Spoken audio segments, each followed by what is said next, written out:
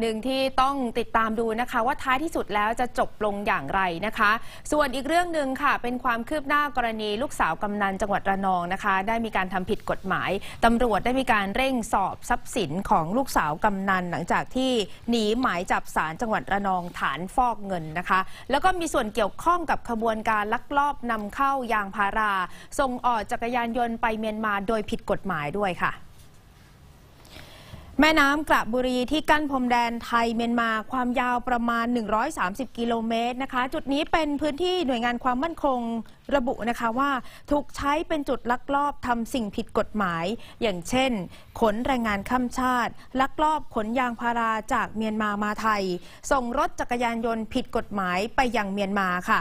เจ้าหน้าที่คนหนึ่งให้ข้อมูลแบบนี้นะคะ ว่าสินค้าที่ขบวนการลักลอบขนมาจากเมียนมา และถูกจับได้มากก็คือยางพารา โดยใช้เรือหางยาวค่ะ ขนมาฝั่งไทยที่ตำบลปากจันทร์และตำบลน้ำจืดอำเภอกระบุรีจังหวัดระนอง แต่ละปีสามารถยึดยางแผ่นได้กว่าร้อยตัน แต่ก็เชื่อว่ายังมีจำนวนมากที่หลุดรอดไป เนื่องจากเป็นพื้นที่ธรรมชาติ ความยาวหลายกิโลเมตรนะคะทำให้การสกัดจับค่อนข้างยาก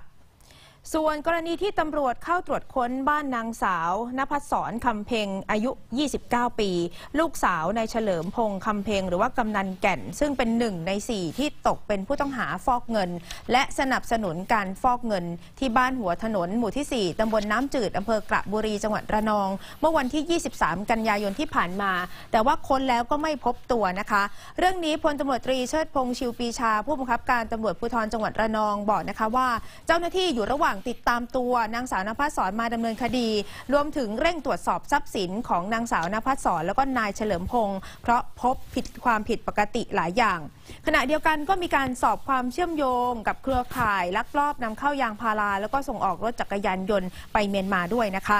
สำหรับเครือข่ายที่ถูกดำเนินคดีครั้งนี้ มีความผิดมูลฐาน 7 คดีค่ะ บุคคลที่เกี่ยวข้อง 65 คน จับกลุ่มได้แล้ว 48 คนค่ะ หลบหนีหมายจับ 16 คนอยู่ระหว่างดำเนินการตามหมายจับ 1 คน รวมมูลค่าทรัพย์สินที่อายัดเอาไว้กว่า 300 ล้านบาทด้วยกันค่ะ